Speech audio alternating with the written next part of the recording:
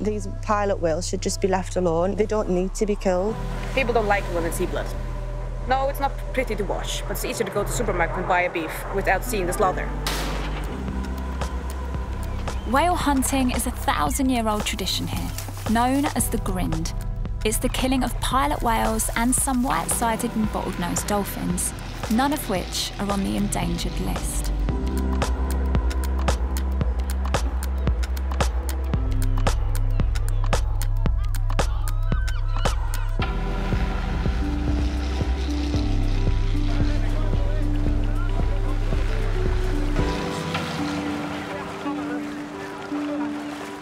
If we were not eating whale meat, that means that we have to eat more of other meat. This is an environmentally friendly uh, way how to uh, feed ourselves.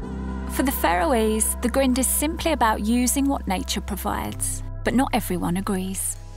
The Sea Shepherds, one of the largest marine conservation groups in the world, have been coming here since the 80s to protest against the grind. Their approach has been to block and disrupt the hunts. But after many arrests and a legal ban stopping them from getting involved, they now post graphic images on social media to show what happens at the grind.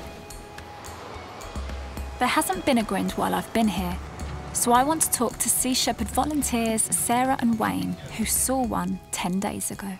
Are you happy to show me what went on that day? I kind of focused on that particular pilot whale at that point, and the pilot whale was really, really struggling. So they made numerous attempts to use the spinal lance, and you kind of saw the blood come out. They just kept going back and like cutting more and more into the pilot whale, and they say I think it's a couple of seconds, isn't it, that if the spinal lance is used correctly, but it has any studies being done about how correctly it is being used, and is, is anyone monitoring this? I mean, we've seen dolphins and pilot whales have been left in the water, kind of like in a spasm. It's probably the most difficult thing that I've ever had to do, really. For her, it's very straightforward. There's just no place for this. But we also need to bear in mind that, you know, this is not our country. This is not our culture. Some would argue this is not any of our business. Hello, how are you? Do you get fresh eggs every day? Yeah, so it's really good. Have you ever helped your father um, slaughter the sheep? Yeah, I have sheep myself also now. You do? Mm-hmm. I killed one last year all by myself. How do you kill a sheep? You shoot it. Really? Yeah, with like a spear actually thing going on straight into the brain. Oh, wow. Boom, it dies. Right, away. got you. Yeah. How involved do you like to get with the grinds? So I never killed a whale. I'm almost mostly on the sea. But when we cut the meat up, it's always me and my brother Heine. We cut the whale up and do it into parts. Do you eat the meat yourself? Yeah, love it. It's really good. Why do you think there is so much outrage and so much resistance? People don't like it when they see blood or animals getting killed. It's like, no, it's not pretty to watch, but it's easier to go to the supermarket and buy a beef without seeing the slaughter. Because there are people telling you what to do, does that make you dig your heels in even more? I think so, especially the younger ones, at my age, also a little younger. Like, I want to be a part of this, a Faroese tradition. We are Faroese people. So, yeah.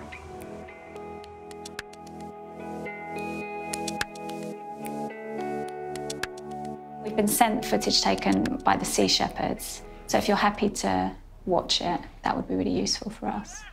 These are dolphins. Yeah, and this is the dolphin. So we see him using that instrument. Yeah. And then we see another guy with a knife. We're 50 seconds in, and it's still alive. And he's sawing It's thrashing. near his neck, Yeah. and it's still alive. And I've been told time and time again that, you know, the animals don't suffer and, you know, it's very humane and they're dead within seconds. And this just contradicts all of that. I, I agree with you that that's not a good example and something. Uh, this is not as effective as it should be. Is this cruel?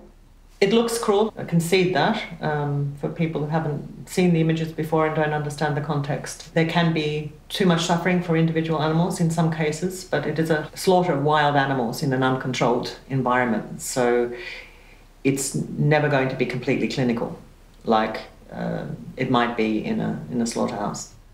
Just because something is part of your identity, part of your culture, does it mean that you can still use that to justify, in some instances, torturing and killing mammals? Sure, it's a tradition, but it's a form of food production. You have to remember that. It's a local resource, it's part of the diet.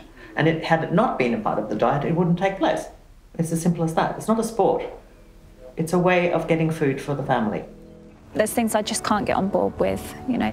The fact that we've been told this instrument, you know, there's so much research and so much has gone into making sure that the kill is over within seconds. We know that's not true in every instance. If we are taking life, we need to make sure that we're doing it responsibly. Anything else is totally inexcusable.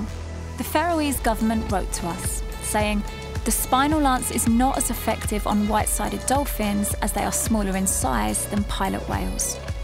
The plan is to design a smaller spinal lance for dolphins and this work has begun.